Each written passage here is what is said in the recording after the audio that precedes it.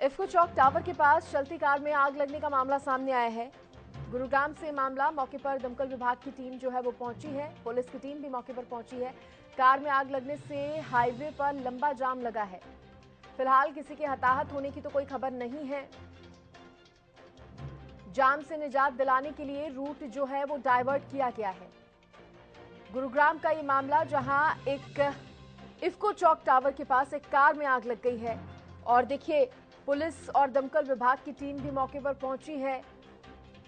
Highway पर car में आग लगने की वजह से लंबा जाम लग गया। और जानकारी ये भी मिल रही है कि इस दुर्घटना में कोई हताहत नहीं हुआ है।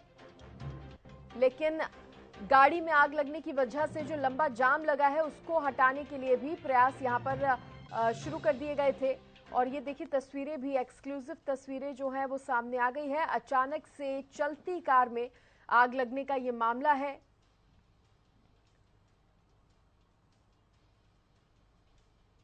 गुरुग्राम से तस्वीरें सामने आई हैं जब इफ्को चौक पर अचानक से चलती कार में आग लग गई।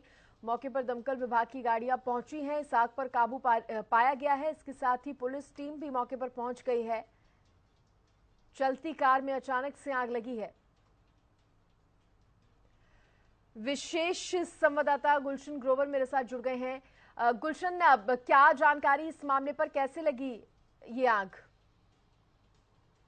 किसी आग के कारणों का नहीं पता चल पाया है, लेकिन गुरुग्राम के इसको चौक टावर के पास एक चलती गाड़ी में आग लगी है और पहले कार के बोनट से धुआँ निकला और जैसे ही गाड़ी चालक ने आगे बोनट से धुआँ निकलता हुआ देखा तो वो तुरंत जो है वो उतरा और उसके परिवार के सदस्य भी उस गाड़ी में मौजूद थे तो तुरंत तमाम जो सदस्य मौजूद थे, वो भी गाड़ी से उतरे।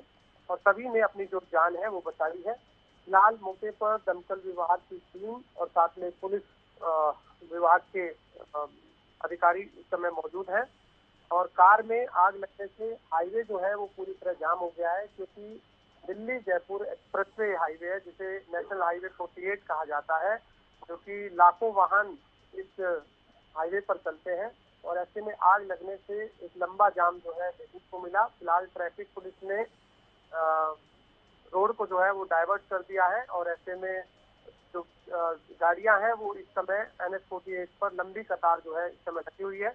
लेकिन जिस गाड़ी में आग लगी थी, उस गाड़ी को दमकल विभाग ने फ़िलहाल बुझा दिया है और फ़िलहाल दमकल विभाग के अधिकारी ये जाँच रहे हैं कि आखिरकार आग किन कारणों से लगी है और किसी के हताहत होने की फ़िलहाल खबर नहीं। चलिए गनीमत यही रही कि कोई हताहत इसमें नहीं हुआ आ, लेकिन गाड़ी यहाँ पर पूरी तरीके से चल चुकी है। बहुत शुक्रिया गुलशन तमाम जानकारी देने के लिए।